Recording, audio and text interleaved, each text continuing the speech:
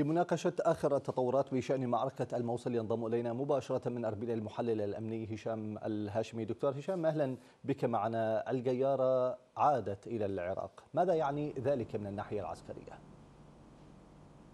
حقيقة يعني الكثير. يعني أنه مركز ولاية دجلة لتنظيم داعش قد أصبح محررا بأيدي القوات العراقية. آخر ما كانت تستثمر فيه من حقول النفط وآبارها فقدته كانت تدر هذه الحقول والآبار قرابة 2.2 مليون دولار شهريا. أيضا فقدت ما يعرف ب قوة الكتائب الخاصة التي تركتها لتدافع عن خط الدفاع الأول في معركة الموصل. كانت هناك كتيبة طارق بن زياد وبعض الكتائب الخاصة فيما تسميه داعش بجيش الخلافة. أيضا خسرت هذا الإقبال وهذا النموذج النظيف من عمليات التحرير الإصابات الغير مقصودة سواء كانت بسلاح الجو أو بالمدفعية أو حتى في عملية الاقتحام. لا تكاد تكون ملموسة. أيضا صنعت القوات المشتركة نموذجا في التدقيق الأمني الذي هو كان أكثر ما يرعب سكان أهل الموصل.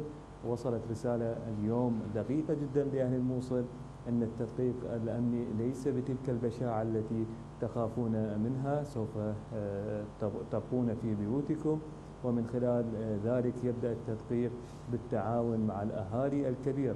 أكثر من 54 داعشي لم يكن في قاعدة بيانات القوات المشتركة والاستخبارات العراقية لكن من بلغ عليه هم الأهالي. هذا التماسك وهذا التداخل هذا أكثر ما خسرته داعش.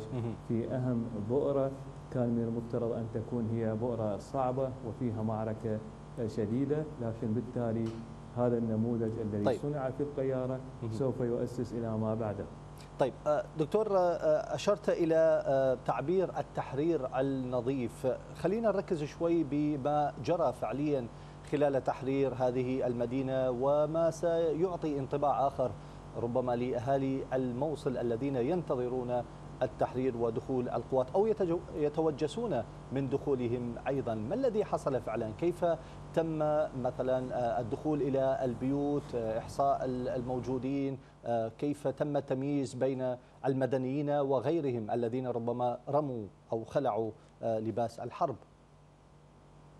حقيقة ممكن أن نقول عشرة آلاف عائلة ما يقارب خمسين ألف مواطن هم كانوا تحت سلطة كراهية داعش في هذه المنطقة. كان هذا عدد كبير. قديما كانت تستعمل القوات المشتركة المحررة أسلوب للتدقيق الأمني بفصل الرجال أو الشباب من أعمار 15 سنة إلى 60 سنة عن النساء والأطفال ثم تقوم بحجزهم في بعض أماكن الاحتجاز لتدقيق الأمني ثم إخراجهم. هذه المرة كل شارع أو كل زقاق بحسبه والعيون والمصادر الإرشادية هي كانت من الأهالي الذين تعاونوا في إنهاء أحياء كبيرة مثل حي الشهداء تدقيقه الأمني لم يأخذ سوى 48 ساعة بسبب هذا الجهد من المتعاونين من الأهالي. نعم ربما يمر هنا أو هناك شخص أو شخصين من الدواعش لكن هذا التعاون الكبير خاصة من عشائر الجبور في المنطقة أظهر رغبة الأهالي في رفضهم داعش والدعشنة بكل بكل أشكالها. أيضا لا توجد هناك نعم. بنى تحتية مدمرة 100% حتى مصفاة القيارة رغم أنه داعش حاول أن يفخخها لكن فشل.